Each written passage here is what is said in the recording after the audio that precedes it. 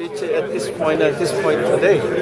But uh, finally, uh, the, all the representative, uh, elected representative, uh, uh, this is the voice of the taxpayers. You know, it's not the mayor's voice, and uh, I'm so happy for especially my ward, Scarborough Rouge River, Malvern, and the whole city of Toronto. But do you expect backlash from, from Scarborough residents? No, uh, I don't think so. Uh, when the people don't have enough information, they just say uh, subway, subway, subway.